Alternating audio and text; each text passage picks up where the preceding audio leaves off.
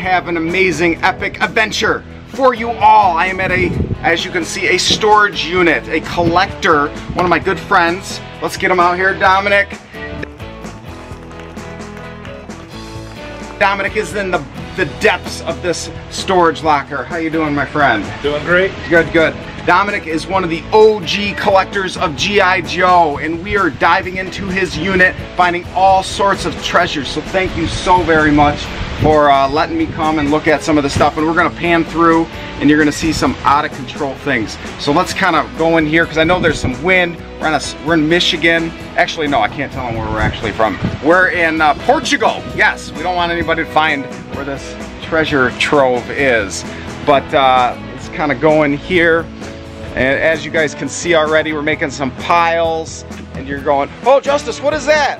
We got night strikers and all sorts of things and night boomers and G.I. Joes.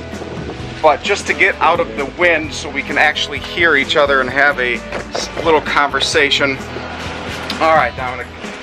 So tell me, how long have you been collecting G.I. Joes? Oh, I've been collecting my whole life. I uh, I started out when I was born. My my uh, grandfather gave me my first uh, 12 inch Joe. Yeah. And I've been collecting ever since. Um, Ever I, since you were little, like you didn't take a break. Little, nope, I still have my original first couple hundred Joes. I still have some of my original vehicles. Oh my goodness, that's awesome. So I've been I've been holding on to it for a long time, and uh, the last few years I've been well, it's ten years I've been in a storage unit. Yep. With my toys, so now we're going through and seeing if I can slim it down a little bit. Absolutely, and a lot of the vehicle stuff that's bulkier. He said, "Hey, you want to help me?" I'm like, "Absolutely." I love hustling and bustling and shipping things out. We checked out his uh, his home and looked at some of the really really nice. You have a full collection, don't you? From yeah. 82 to 94.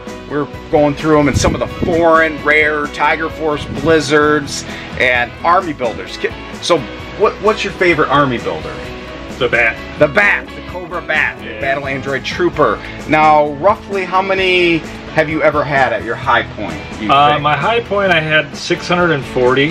$640. But when you were probably collecting them in the late 90s, early 2000s, I'm guessing you could get them for fairly cheap. Yeah, I was getting most of my figures I got for five to ten dollars. Five to ten dollar complete bats. And now it's 2021, dating the video, and bats are going anywhere from 75 to $100. Oh yeah. So, and you've slimmed down some of them, but you still have probably several hundred, I'm assuming. Yeah, probably got about 200, 250. Two, and we're just dumping out bins of all Vipers and Crimson Guards. It was amazing. And he thinned down some of his extra army builders and extra uh, uh, figures as well. So let's kind of look inside here. I want to I want to show the folks at home some of the fun things that we're looking at.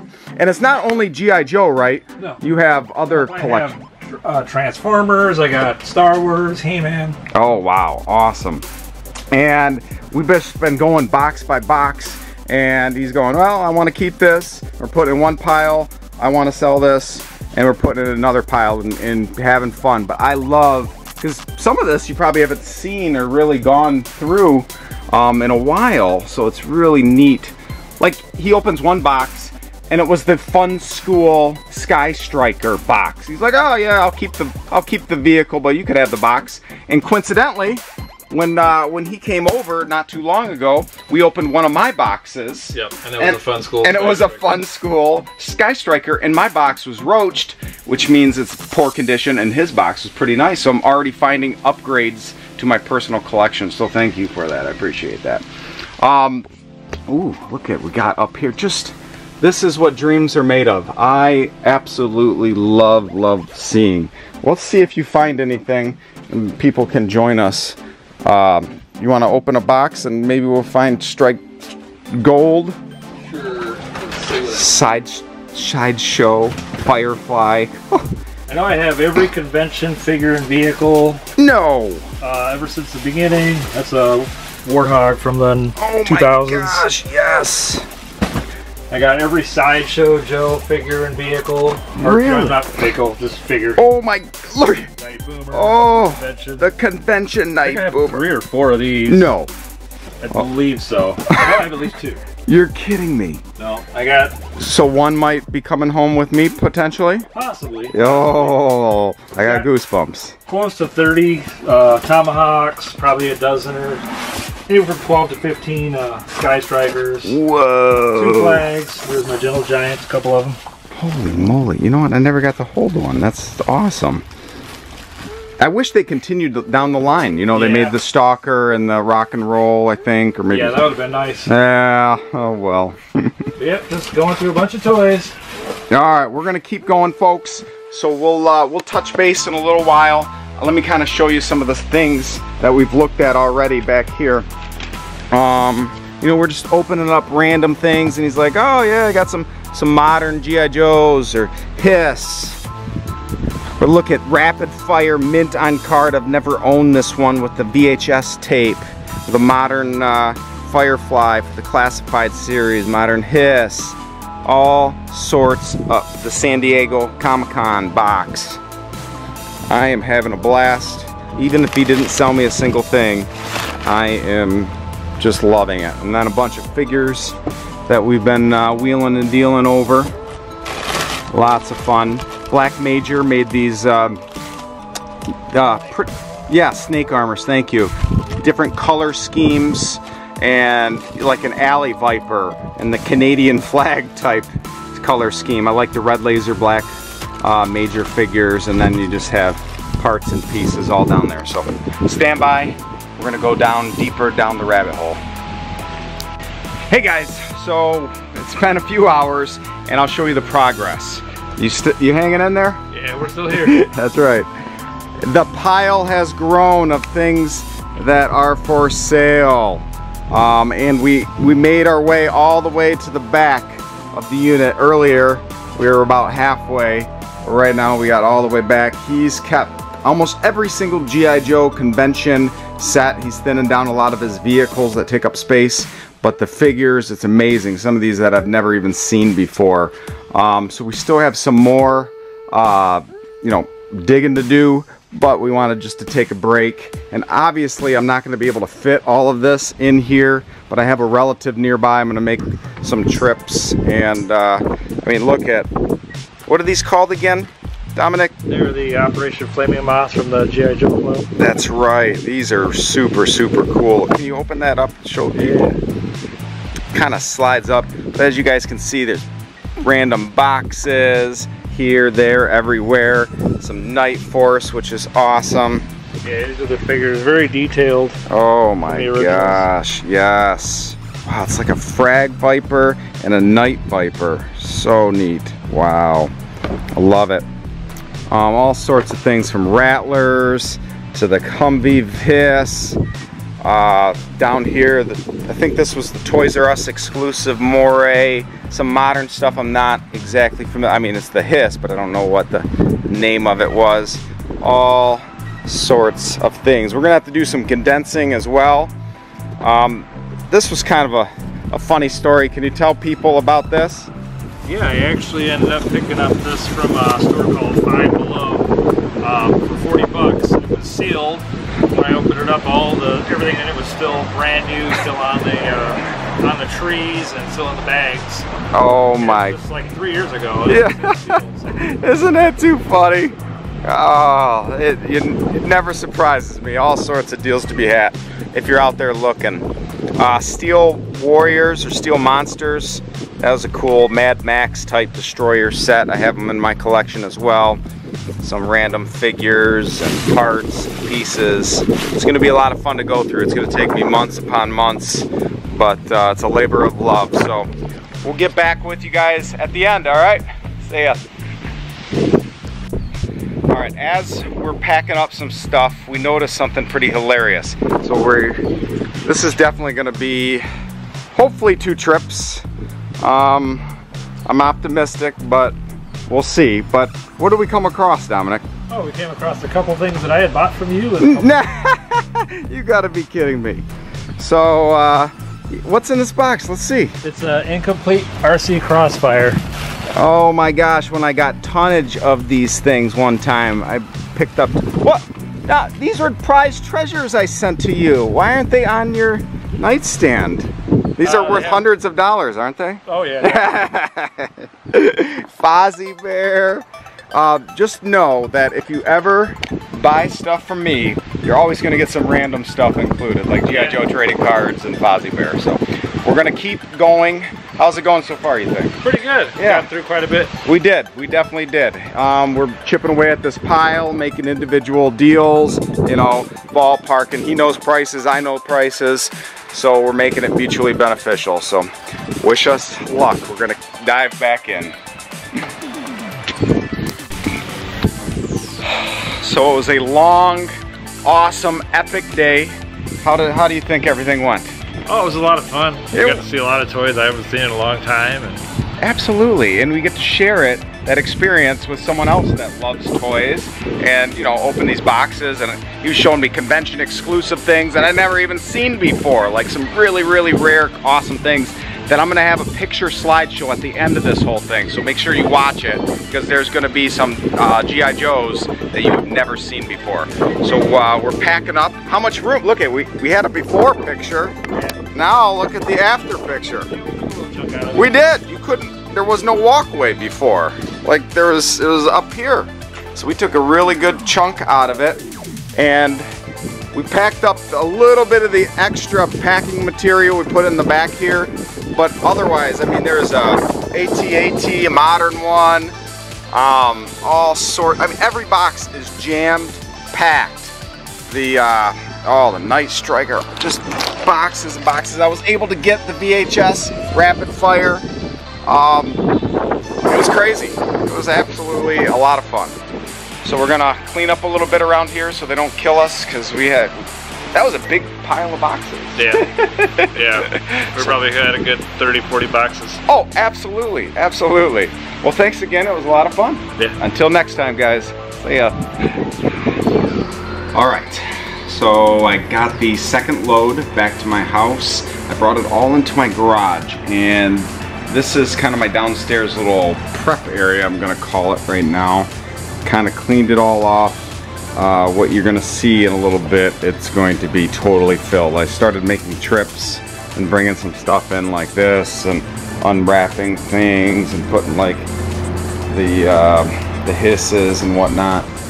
But this is all that I purchased from my buddy. So I'm gonna go through each and every one, unpack them, see their completeness, go through my inventory, see if I have extra pieces. I mean, there's dust, I'm gonna have to clean that off before I get ready to sell it. You know, find the vehicle, matched up with the box. I mean, there's a lot of little tedious work that needs to be done that I don't mind doing.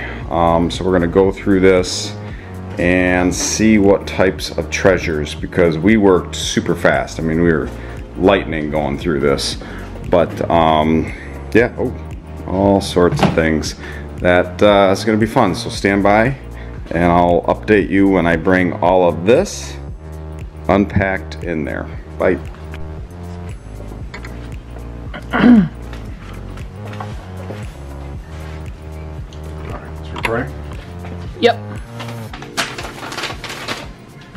All right, it took me a whole day and a half to finally get everything unboxed, unpacked, and spread out in somewhat an organized fashion. But now I have the real work ahead of me. So let's just pan around and see kind of the extent and we'll kind of go down into uh, the different piles and subsections that we have going on. Um, even check out underneath here, it is packed to the max. Um, all the way over there, behind you, everywhere is toys, toys, toys, specifically G.I. Joes. Um, this gigantic pile is one of four piles of bubble wrap because a lot of these were already individually wrapped. So let's save this one. This is the end. I like this one the best. Um, so we'll kind of dive in on what we have going on here. Uh, like I said, it's mainly vintage G.I. Joe, but there's some modern G.I. Joe mixed in as well. Um, we have some Snow Wolves, and gosh, I can't. This one's really neat. The rifle, uh, what is it? The rifle range, the Cobra one. I don't think I've ever had one complete. I've had pieces and parts. Yeah, the Cobra rifle range. It's super neat to finally get all the pieces together in one section. Um, the modern fire bat for the Terrordrome, a bunch of stuns. Obviously the flag's always missing. Um, my beautiful wife actually got me a pic today. She sent me a picture and she said, hey, I got this friend that has a bunch of toys they're looking to sell for 50 bucks. And I look in there and I see a Viper uh, officer, sorry, Cobra officer from 1983. And I'm like, 50 bucks, buy it, buy it. And I dumped it out and it ended up having a slugger in there with uh, the top gun and coincidentally it had two guns and I needed one for an extra slugger that I got in this pick. Um, so thank you, wonderful videographer. um, a lot of stuff, I mean, I hate parts and pieces and broken shells. He didn't have that. Like if there was broke, he collected um, mainly complete, which is awesome. There's gonna be some matching up later, but things like the, the Thunder Machine, it was probably on display for a long while, so it had a thick layer of dust. But what I ended up doing is, you know, dipping it in the bathtub, scrubbing it, spraying some, um, what is that stuff that I normally, Armor All on it, yep, wiping it down, oh. putting it in front of a... Armor All? Armor All, No yeah, kidding. Little trade secret. Um, Armor All on it, and it shines it up after I put it in front of a fan. All right, let's keep um, it going. Check this out. We have 2, 4, 6, 8, 10, 12, 14, roughly 16 HISS tanks. Um, probably one of the largest collections of HISS tanks in Michigan, or up there anyway. So lots and lots of HISS. Um, hammers, I don't remember what this is, something Iron Grenadier. Uh, modern type G.I. Joes, I have no idea. I'm gonna have to do some research because parts and pieces, trying to match it up to figure out it, like I can look at a Mamba, I know what missiles look like for a Mamba. I can do a Mamba with no instructions, but when it comes to newer stuff, I'm a little rusty. Got a bunch of different types of vamps here, which are real cool. Uh, vamp 2s, but all modern vamps. Oh, this came from my wife's lot today. This one's pretty neat as well. Uh, the little battle game that you'd shoot like Nerf things back and forth, a board top game. Modern hisses uh, Havocs, the Toys R Us, I think, exclusive, or KB Toys Hiss, which is a neat red one. Um, notably, hey, check this out. Yeah, the Action Force version of the Vamp. So that is awesome, and it has the uh, the two little gas tanks on the back. One of my personal favorites these Humvees, like I think these are actually from uh, Godzilla from the late 90s, the Matthew Broderick one. But I love these Hummers. Uh, they look awesome, the Night Ops one specifically. Uh, Fun fact, of the two of us, guess which one of us has driven a Humvee? That would be... Not him. True story. Uh, I looked at this at first, the Mauler, and I'm like, oh man, it's not complete, there's nothing on it. I'm like, I wonder if the heavy metals mic was in there. So I start rattling it around. I hear things rattling. So I took the battery cover off and it had the smoke grenades, it had these mud flaps, and both, uh, or sorry, one of the antennas. So that was um, really neat. This is one of my favorite toys down here. the Dune. I don't think I've ever come across, I've had, I don't know, probably 30 of these over the years, but I don't think I've ever had one with the roll bar attached. For whatever reason, the plastic Stop putting your hand in front of it. The plastic warps over time, and this red roll bar always, always breaks. But I don't know if it was stored properly or what happened, or probably pop off tonight and break. But I am very, very uh, thankful. First time I've ever got one with an intact roll bar. Um, let's go down here for a second. This is neat. Some Tomahawks. I think this is the Eagle Hawk, the modern version of it, because it's a little lighter. And then some Tomahawks. Uh, you're probably noticing these down here. Pretty neat. The, um, I think they're APCs, the uh, troop carriers. But noticeably there are one, two, I think there's three Night Force ones. Obviously complete. Uh, Steel Warriors, or is it Steel Monsters? I'm pretty sure Steel Warriors. Uh, these are post-apocalyptic Mad Max, really heavy duty, made by Tonka, um, but perfect for G.I. Joe scale. I had that one growing up. Um, I'm really liking these. This is probably one of my favorite things. Um, it came, he bought it years ago in a lot, but it's made of wood. It looks like someone constructed this out of wood and it's really heavy duty. Um, it's, uh, I don't know, look at someone used like a belt right here and all sorts of different parts and pieces from who knows what. Um, so it's like a piece of Americana. I really, really dig it. Same with this one. You know, some type of custom tank made of wood. Super heavy duty. And then a third one, a little more intricate. But um, see, there's like uh, low lights backpack that they painted, the desert camo. They used all these different types of thing, even a wood dowel type thing, and and spray painted it. And some guy with really cool artistic ability was able to uh, to make this tank. So I, I dig it. Tons of Sky Strikers, um, some modern Sky Strikers. Over here, three more Eagle Hawks, non-constructed but complete. So super happy about that. The Rhino, I love this function of the Rhino. You push the back and it raises. Love that Rhino.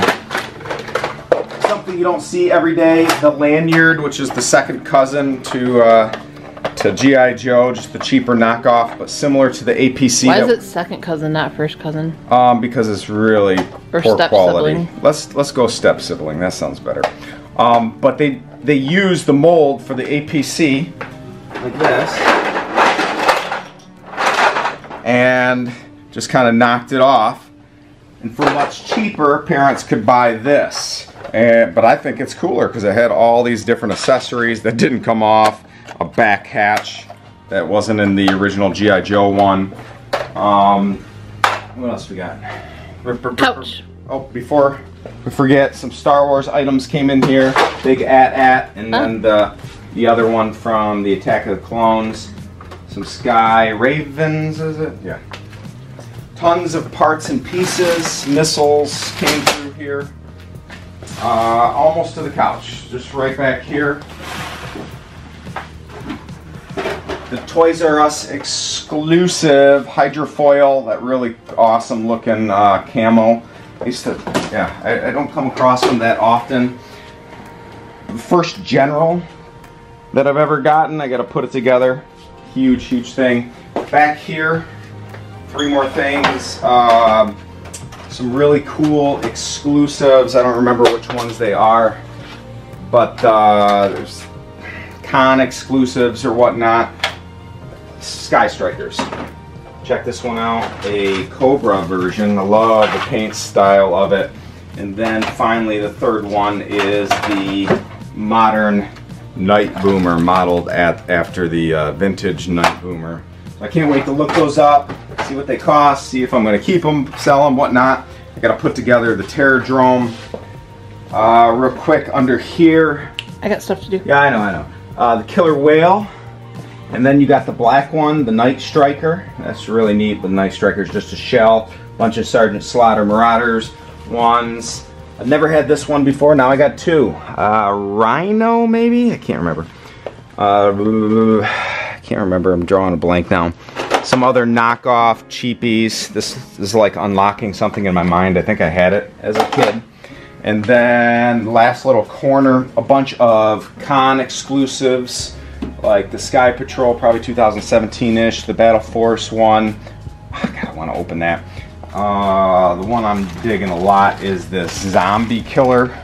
So the GI Joe convention had a limited run of these. Some other ones like the Shark, Eco Warriors. Um, I don't know if that one's an exclusive or not. Hawk. And he knew, I mean, he gave me good prices on a lot of these because they're not all complete. But he goes, hey, you're going to make your money on some of these con exclusives because, again, limited number, high demand means can be 100 $200, who knows. Uh, another con exclusive hiss. Uh, what is that thing? The water moccasin dries it. What am I? I can't draw a blank. Another con exclusive, things that you don't see that often. I've had this. This is my third one, the Tiger Force Hydrofoil. Unfortunately, it's not complete, but I'm gonna have to see if the parts are interchangeable with the uh, vintage one, if they're the same tone or whatnot, or if I'm missing it in some other box. Pretty neat uh, orange hiss. Yes. Uh, Hiss, the cat, is that what it called? Yep, the cat 2, because it's not the cat 1. Vintage was the cat 1, Sears exclusive. A neat little walkie-talkie. Um, I'm loving vintage vamp box, Raider box, vintage. A uh, thunderclap. Thunder. Na na na na na na na na. Uh, the only piece of Voltron a sealed Coffin of Darkness, vintage Voltron. So I can't wait to check that out. Uh, boxed, just empty box Zartan, but I'm sure I'll be able to complete one and put that together. He had some, again, modern ones with the wolf and the hawk. We have uh, Rage, I think it is, the battle copter. I know I'm going fast, but I'm under time constraints with my wife, my only videographer, and I don't pay her that well, so I have to uh, go by her terms. The devilfish, um, I'm just canceling our plans with my daughter. that's all right. Or my plans with her The Night Ops Humvee, the one that I showed earlier, but this one I believe is yeah sealed. Wow. Um, I showed that in my first video. Sigma Six. I didn't know they made these. That's kind of neat to find out. Um, the Rattler, the Target exclusive that looks just like the vintage Rattler. Awesome. And then more vintage boxes like the Warthog, a bunch of modern comic pack G.I. Joes. You know, you love them, you hate them. I think they're still really neat looking. Uh, you can get some cool looking G.I. Joes that are vintage style, but to have them still in the package is a-okay in my book. Uh, you don't see these very often, the six packs like this one, or the removable helmets, the black Crimson Guards, awesome. Probably my favorite, I love the Cobra Commander in all red with Baroness, and then these, uh, what are they called, Range Vipers, but they're something else, don't matter. Uh, a bunch of troopers, interrogator, yeah. An Arctic looking one. Oh, that's where those boots come from. Personal favorite, uh, 85 or is it 86 Vipers. Love them, but they repurposed them, made them look the same. And then this blah blah one. Tons of other ones over here. And last but not least, I'll show you the Gentle Giant Stalker. Yeah, Gentle Giant's a company that remade several of these uh, G.I. Joes that look like the old ones, but uh, made them a lot larger. So I'm gonna have a little slideshow at the end, kind of showing off all the G.I. Joes. So that's the fastest wrap-up video in the history of Justice Cury. So take care, hit that subscribe button. Love you all.